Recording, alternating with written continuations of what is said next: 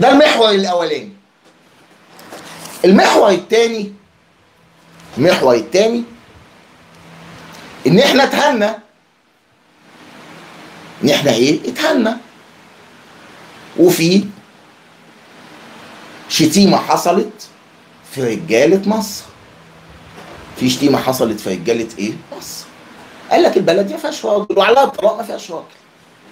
طلع طبعا النهارده في فيديو جاب مرشديخ جاب إيه؟ مرشديخ وعايز أقول لك بعد كده يا يا يا اخ لما تيجي تصور بعد كده فيديوهاتك وابقى اقعد. بلاش الوقفة اللي انت بتقفها دي. ليه؟ اقعد. لاني سامع ركبك بتخبط في بعض. سامعها. أنا سامع ركبك بتخبط في بعض فابقى اقعد يا حبيبي بعد كده. بدل ما انت عمال تلوش.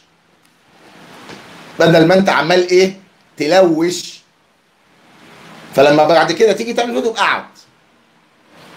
ده رقم واحد. رقم اتنين. هو إحنا هنقضيها كده؟ يعني النهارده تبقى في تصريحات خطيرة زي كده تمس بلد بمؤسساتها. قدام رأي عام عالمي. آه هتطبطب على البلد بفيديو؟ 16 دقيقة؟ ها؟ يعني يعني ده ده كده اطلع اشتم وهين واعمل واساوي وبعد كده اعمل فيديو أقول لا مش أنا؟ لا والله لا لا لا مش أنا ده متفبرك ده ابو سنيدة ورجاله والله يعني هي مصر يعني هل إحنا هل إحنا مؤسساتنا وقانوننا هنبقى ضعفاء لغاية كده؟ أو إحنا مثلا يعني يعني سذج كده؟ لا طبعا لا طبعا. الموضوع ده مش هيتلم بالفيديو ده. ليه مش هيتلم بالفيديو ده؟ ليه مش هيتلم بالفيديو ده؟ انت طلعت طبعا وسقت حاجات وبتاع ومش عارف إيه وقلت إيه الفيديو. خليكم معايا واحضروني. علشان الكلام يبقى بالعقل وبالايه؟ وبالمنطق. في فيديو نزل على الإنترنت. انت شتمت فيه الخطيب؟ طلعت قلت أنا عمري ما شتمت الخطيب. ماشي؟ ولا مش ماشي؟ طلعت شتمت فيه الرجالة بتاعت مصر. ها؟ وقلت مصر ما فيهاش راجل. ودوت كده يبقى انت خدت في حاجات كتير. طلعت قلت لا بلد كلها بلد كلها إيه؟ أصول. ماشي مفيش مشكلة خالص. يبقى أنا ما عنديش إيه؟ مشكلة خالص. الفيصل ما بيننا إيه؟ الفيصل ما بيننا إيه؟ لا والله الفيديو طلع. لا والله مش بتاعي ماليش دعوة بيه. ما حصلش مش صوتي. ماليش دعوة بالليلة دي. لا طبعا إحنا مش مش هبل ولا إحنا عبط ولا إحنا سذج ولا إحنا هنسيب حقنا كده ولا أنا شخصيا اسيب حقي كده.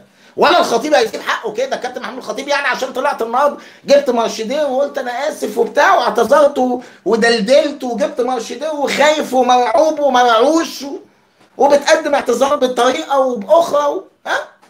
هتتلم لا يا حبيبي لا يا بابا. كل واحد هياخد حقه يا حبيبي. كل واحد هياخد إيه؟ حقه. ليه بقى كل واحد هياخد حقه؟ لأن في فيصل ما بيننا. إيه الفيصل اللي ما بيننا؟ النهارده في فيديو نزل أنت بتقول إن دوت مش بتاعي. لا. في النهارده حاجتين. في حاجة اسمها بصمة صوت وفي حاجة اسمها خبر. تاني. في حاجة اسمها بصمة صوت وفي حاجة اسمها إيه؟ خبرة.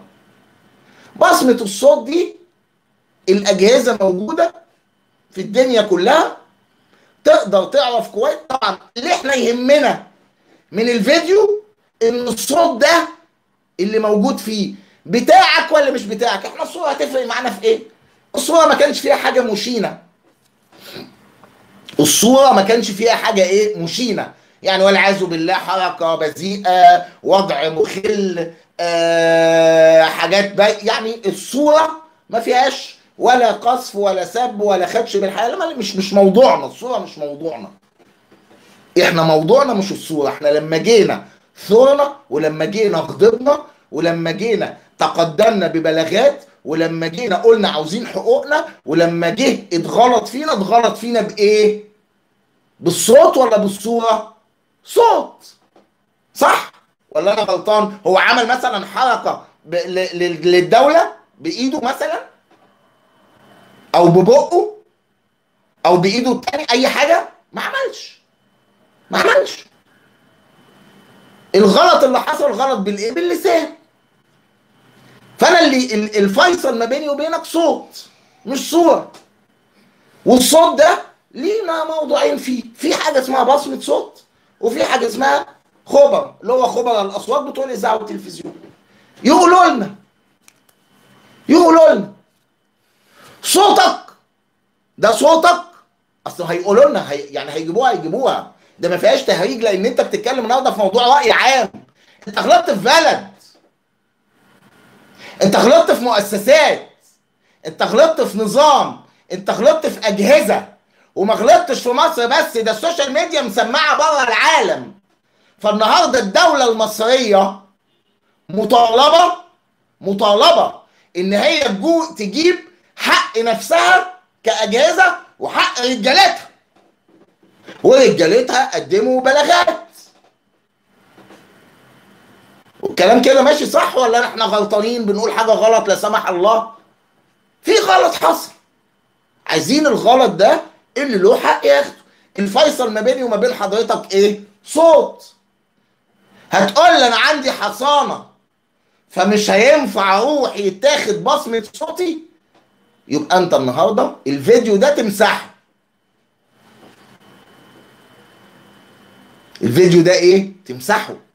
اللي أنت لسه عامله من شوية ده وعامل عنوان قد كده وبتاع و... وجايب فيه حاجات من الشرق والغ... ليه؟ لأن أنت طالع بتقول مش بتاعي. إحنا بنقول أنت طلعت شتمتنا. انت بتقول أنا إيه؟ ما شتمتش. انت شتمت الخطيب والخطيب مقدم بلاغات. الخطيب قال الخطيب ما انت قلت إيه؟ والله ما شتمتك. طلعنا قلنا انت اهنت الدولة واهنت رموز الدولة واهنت مؤسسات الدولة واهنت رجالة الدولة. قلت لا والله أنا ما قلتش الدولة كلها اسود. حلو قوي. يعني إحنا النهارده بنتهمك اتهام ماشي؟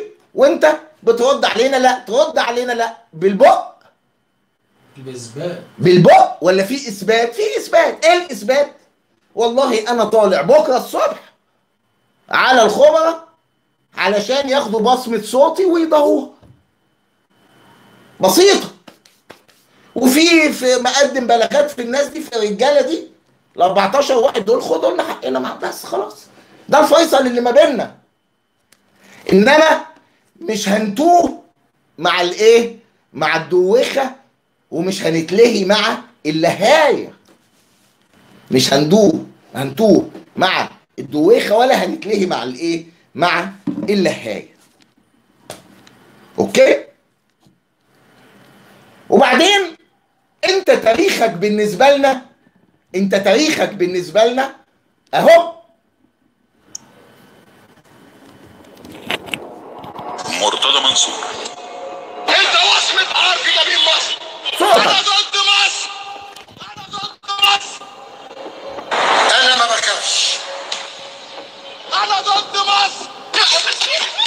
أنا طالما انت أنا خارجة دلوقتي في النادي أنا في النادي النهري والله لو كلمتيني النهارده رئيس الجمهوريه الحقونا حولنا يا انت المره وسخه وبنت كلب. يا صايعه يا بنت الكلب.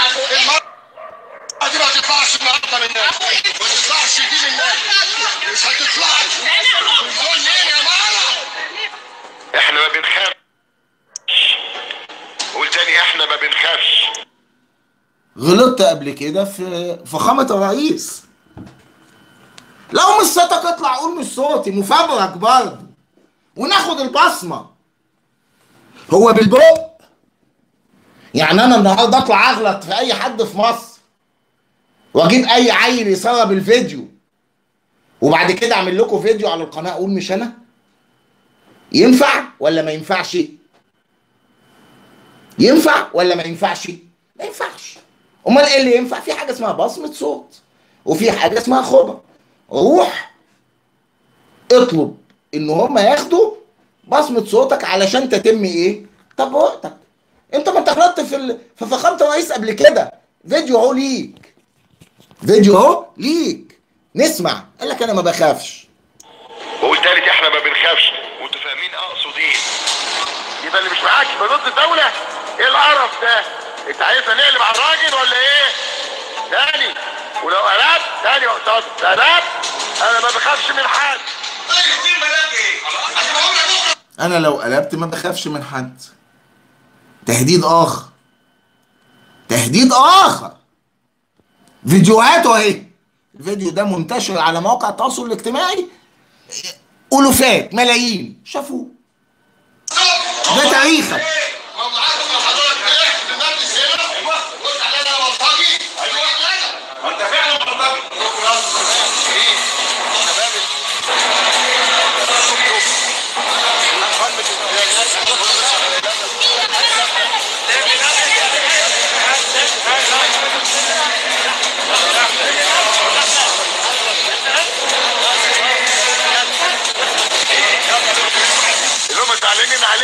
يقول لك أصل الشركي صاحب السيسي والسيسي زعلان عشان الشركي فين؟ طب ما تصحى هو ده الشباب يا السيسي اللي انت عايزه؟ إذا كان ده صاحبك خلاص الحساب قادم ومحدش بيجي مني. بقى ده. مرة تانية بيتكلم مع معالي فخامة رئيس الجمهورية أهو. لما قلت امبارح ان الأمور في تصاعد كان عندي حق. لما قلت امبارح لما قلت امبارح إن اتساب له الحبل على الغارب كان عندي حق. مصر دولة ليها هيبة. تاني. مصر دولة ليها هيبة. هيبة الدولة من هيبة رجالها وهيبة مؤسساتها. فمن فضل حضراتكم أيها الرجال المسؤولين في مصر حافظوا على هيبة الدولة وعلى هيبة حضراتكم. مرتضى أحمد محمد منصور أبو العلا اعتاد أن يكسر هيبة الدولة في كثير من الأحيان. وكلامي مش مرسل كلامي بالدليل أهو أهو. فمن فضل حضراتكم حافظوا على الدولة اللي إحنا تعبانين فيها وانتوا تعبانين أكتر مننا فيها. إحنا وطنيين وبنحب البلد دي. الموضوع وصل هنا والناس بقت هنا. نكمل.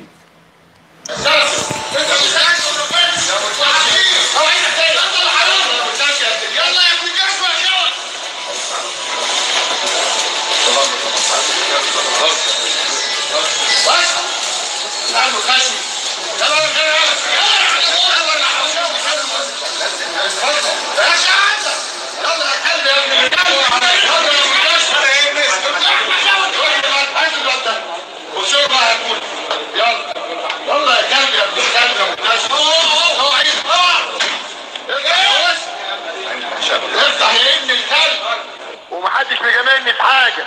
وأنا لما رحت ونزلت قلت السيسي ما كنتش خدت منه حاجة ولا وعد ولا عايز أبقى محافظ ولا وزير ولا حاجة. أنا نزلت بدراعي وتحذير أخير. لو اتكلمت هقلب الدنيا وعندي كتير لو كلمته وأنا التاني هقلب مصر والعالم. فده تحذير أخير. قصة دعم الدولة من بكرة يتلغي واللي هيقول لي بكره دعم الدولة أروح أعمل له مؤتمر صعب أقول له طب تعالى قول لي بقى الدولة بقى والنظام بتاعك عمل إيه ونبتدي نحكي بقى والسفريات وال- والعشوائيات عندي كتير اقوله إنت اديتني مسؤوليه كبير في الدولة ما بخافش. خد بعد كده. أنا هقلب الدنيا على مصر كلها. ما بخافش. لا إحنا مش شغالين عند حد. ولا شغل مصر التلفاز وإحنا فوتنا حاجات كتير. وفي يا جماعة. دولة إيه بتتكلموا عنها؟ وطز فيكم. ده حقي. يا كلاب يا ولاد الكلب تاني. يا ولاد الكلب. والراجل ينزل نادي فينا أي نادي فينا درجه تاني. الراجل يعمل ده. ولا بيهز شعره لا مؤاخذة من لا مؤاخذة. هانم زوجتك يا سفنه مرة صايعة إيه الخرا ده؟ يا كلب يا وسخ. أنا ما بخافش من حد. الراجل كان متجوز أختي لا ده أمك اللي هنزلها درجة سادسة امسح وأرميه في البتاع. عقاب قادم. يا كلاب يا ولاد الكلب يا دي عبيط يا هبل مين المتسول ده؟ بتاع رشا؟ وما بخافش. آه، يا لمياء تاني ما بخافش. بتاع هبه تاني ما بخافش. بتاع إيمان. قول لي جهاز أدي حنان. لا أنا عرفت وحياة محاسن. قول تاني. حد مراتك معها أنا عرفت عيل شاذ خلاص معروف بيتركب إزاي؟ ما عنديش مشكلة. هتقتلوني هتلفوا لي قضية؟ أنا عامل فيديو سايبه لأولادي. هيخلص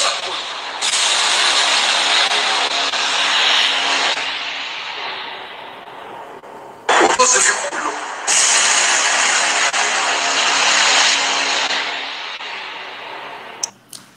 من أمن العقاب أساء الأدب؟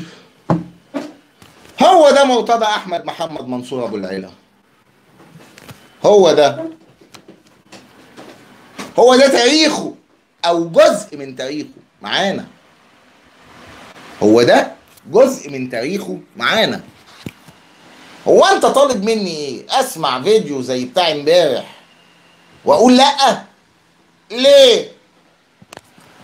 هو كان الشيخ الشعراوي رحمة الله عليه ولا إيه؟ ده مرتضى منصور ولا كان الدكتور علي جمعة؟ اتكلموا في إيه؟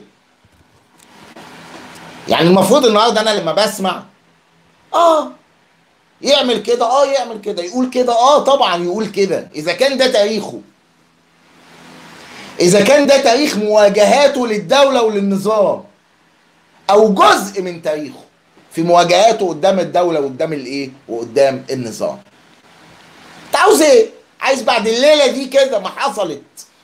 وبعد ما تم الإهانات دي على مرأى ومسمع من مصر والعالم من مصر والعالم تعمل لي فيديو 14 15 دقيقة تطبطب فيه على الخطيب وتجيب فيه مرشدية وتقول مش أنا وسلام عليكم عليكم السلام ليه؟ ليه؟